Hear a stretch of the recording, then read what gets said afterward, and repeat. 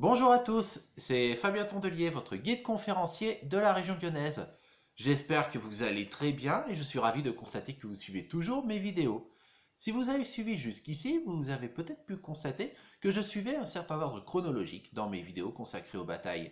J'ai effectivement commencé avec la bataille de Lugdunum en 177, j'ai enchaîné avec le siège de Pérouge en 1468, et dernièrement j'ai traité de la campagne de France avec la bataille de Limonest en 1814. Aujourd'hui, c'est à la Seconde Guerre mondiale que je vais m'attaquer en vous proposant une vidéo sur la bataille de Meximieux le 1er septembre 1944. En 1944, ça commence à chauffer sérieusement pour l'Allemagne nazie.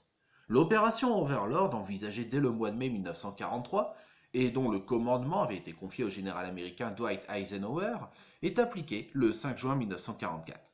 Le lendemain, ce ne sont pas moins de 2 millions de soldats, avec 1500 chars, 3000 canons et 12 500 véhicules, qui débarquèrent en Normandie.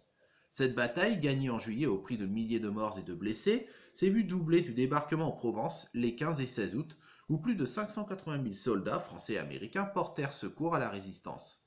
Le 18 août, Marseille fut libérée après de violents combats. Les résistants libérèrent ensuite les grandes villes du sud, tandis que les Alliés pourchassèrent les Allemands en remontant le Rhône. Le débarquement en Provence conduisit l'armée allemande à donner l'ordre de repli dès le 17 août, ce qui fut fait à partir du 19 août, laissant ainsi un large quart sud-ouest de la France inoccupé, à l'exception de quelques ports atlantiques, pour assurer leurs arrières.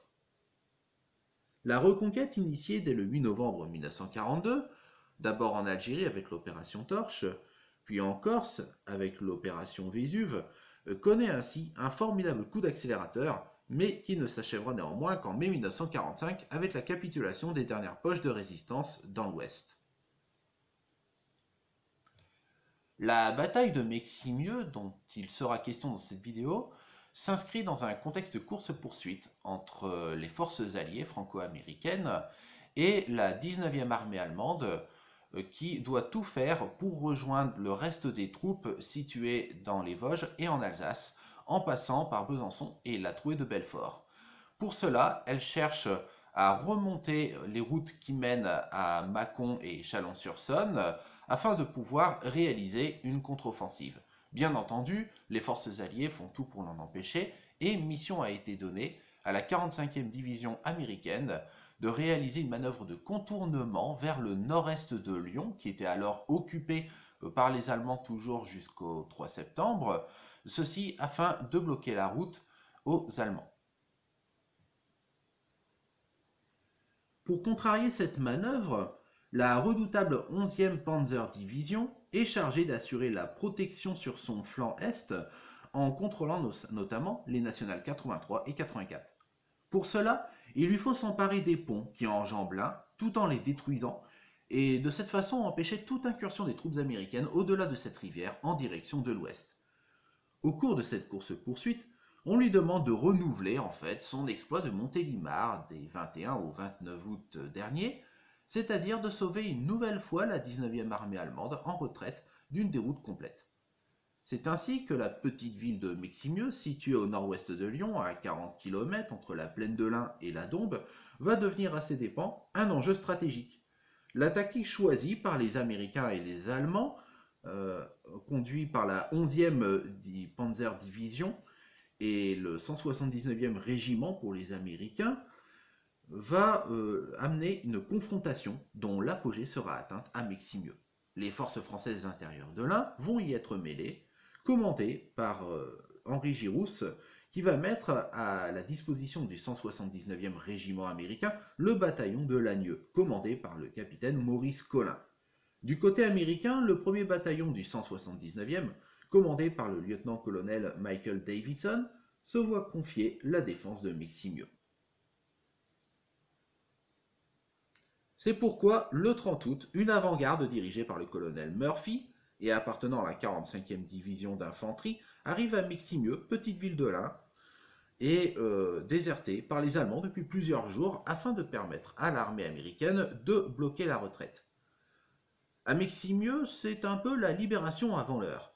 À peine l'avant-garde de la 45e division américaine est-elle arrivée rue de Lyon que la foule assiste au spectacle, offrant fleurs et baisers, sans se douter de l'orage qui l'attend.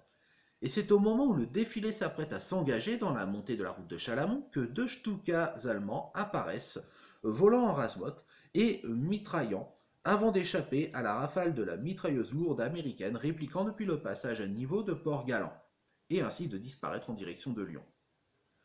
Alors vous imaginez bien la situation, on passe tout de suite de la joie à l'angoisse la plus totale, donc euh, toute euh, démonstration euh, de joie, de patriotisme, tout simplement, eh bien, tout finit par disparaître hein, en un instant. On enlève donc les drapeaux français et américains et on se barricade chez soi.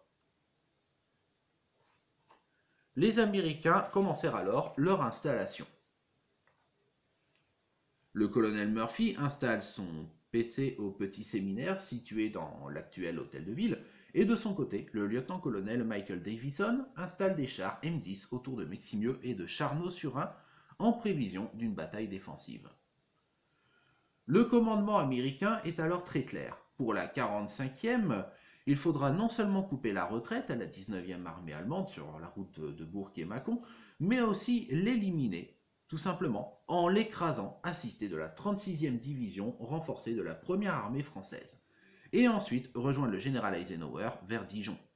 Cette opération devait se faire à partir du 2 septembre, mais le commandement allemand va briser dans l'œuf cette manœuvre en contre-attaquant dès le 30 août. C'est tout là l'enjeu de la bataille de Meximieux. En effet, ce que les Alliés et les habitants même de Meximieux ignorèrent, c'est que le même jour, à 9h, un fort contingent de grenadiers allemands et de canons autotractés appartenant au 111e régiment de Panzergrenadiers, entrèrent alors à Montluel. Une réunion municipale se tient pour discuter du ravitaillement de la population, aussitôt interrompue par une rafale de mitrailleuses allemandes. Donc voilà, on annonce les hostilités, la bataille est enclenchée. On reste un petit peu, on cherche des maquisards, mais vers 14h, on se rend compte qu'il y a plusieurs gens à faire et on se met en marche vers la ville de Meximieux. Dès le lendemain, les Allemands vont lancer trois groupes d'attaque. Un premier groupe sur Chalamont et Versailleux, un autre groupe sur Béligneux et Bourg-Saint-Christophe, et un dernier groupe sur le camp militaire de la Valbonne. La journée du 31 août voit de nombreuses pertes en hommes et en matériel chez les Allemands, notamment à cause des tirs d'obus effectués par les Américains depuis le pont de Port-Galant. Devant ce revers, le commandeur von Wittersheim, vous me pardonnerez mon accent, qui est à la tête de la 11e Panzer Division, décide de demander de l'aide au major Bödiker, positionné à Crépieux-la-Pape, pour obtenir des renforts. Mission est donnée à ce dernier de bloquer immédiatement les accès aux deux ponts tenus par les Américains, le pont de Port-Galant et le pont de Chazé, qui enjambent la rivière d'Ain. Arrive la journée du 1er septembre. Au petit matin, le groupe allemand attaque le pont de Chazé, le prend aux Américains et le dynamite. Cette destruction rend d'autant plus stratégique le pont de Port-Galant, qui devient alors le seul accès entre la Dombe et la plaine de l'Ain. La colonne allemande Bödiker se dirige donc vers le lieu-dit de Port-Galant, en longeant la rivière d'Ain. Saint-Maurice de Gourdan, qui fait partie du territoire du lieu-dit de Port-Galant, est alors le théâtre de violents combats. Au cours de la matinée, les Allemands tentent une première fois de prendre le pont de Port-Galant sans y parvenir. Les combats se déplacent à Port-Galant même, où de nombreuses maisons du hameau sont détruites. La compagnie Martin des maquis de l'Ain participe également à la défense du pont. Renonçant à prendre le pont, les Allemands se positionnent alors au sud du camp militaire de la Valbonne, et après coordination avec deux autres groupes allemands, l'ensemble des trois colonnes entreprend de prendre le camp avant d'attaquer Meximieux. La Valbonne est encerclée et la compagnie des FFI bloquée. Si trois tanks destroyers parviennent à rallier Meximieux, les pertes sont lourdes pour les Alliés. Sur 193 soldats américains combattant à la Valbonne, 160 sont faits prisonniers et 9 sont tués. La bataille se recentre alors sur la ville de Meximieux où se concentre l'ensemble des forces américaines et françaises. C'est au début de la matinée du vendredi 1er septembre que l'assaut final est ainsi lancé. Les combats durèrent une vingtaine d'heures et ne s'achevèrent qu'au milieu de la nuit suivante lorsque les assaillants décidèrent de se retirer. L'attaque contre la ville elle-même est menée dans cinq directions différentes. Celle des Panzergrenadiers à l'est de la ville, une première bataille de chars dans la prairie face à la gare au sud, suivie d'une deuxième dans l'artère principale de la cité venant du sud-ouest, la prise du château de Meximieux par l'ouest et le nord, et pour finir, un combat au corps à corps dans les rues et parmi les habitations, faisant de nombreuses victimes civiles dans le but de s'emparer du petit séminaire où se trouvent retranchés le PC du capitaine Colin et celui du colonel Meyer. Les combats sont acharnés, les tués sont beaucoup plus nombreux du côté des FFI que des GIs américains. Pour l'ensemble des opérations militaires, on dénombre 18 tués américains pour 50 morts FFI.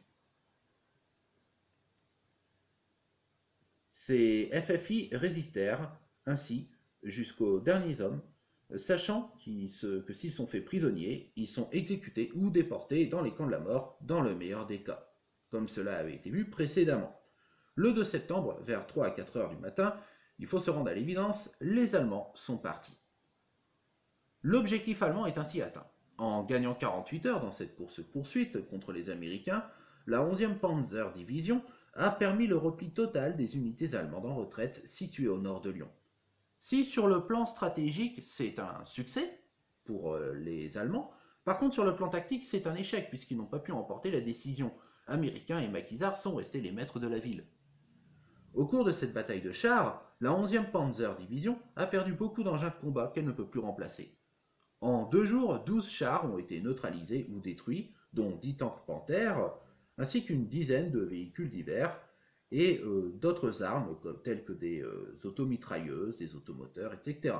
Si on ajoute à ces pertes celles occasionnées par les combats de Montélimar, cette division de blindés a perdu quasiment le tiers de sa capacité opérationnelle. Mais cette bataille de Miximieux a néanmoins permis aux Français et aux Américains de combattre côte à côte. Elle a modifié considérablement l'opinion qu'ont les généraux américains vis-à-vis -vis de la valeur combative de la résistance française. C'est la raison pour laquelle la commune de Meximieux est devenue l'une des rares collectivités euh, territoriales de France, elles sont 17 au total, à avoir reçu la médaille de la résistance. Le lieutenant-colonel, qui deviendra général par la suite Michael Davison, devint citoyen d'honneur de Meximieux. La ville d'ailleurs porte une rue à son nom. Une stèle célèbre à Meximieux les maquisards tués au cours des combats. En 2014, trois jours de commémoration été organisés à Miximieux pour les 70 ans de la bataille. Cette vidéo est à présent terminée. J'espère qu'elle vous a plu. Elle était un petit peu plus longue que les autres, euh, évidemment, puisqu'on traite d'une bataille de la Seconde Guerre mondiale. Donc, euh, il fallait euh, vous dire un petit peu plus de choses hein, par rapport au déroulement des événements. Donc euh, moi, comme à mon habitude, eh bien, je vous souhaite une excellente journée, portez-vous bien, faites-vous plaisir tout en prenant soin de vous, et on se donne rendez-vous demain pour une prochaine vidéo. Bye bye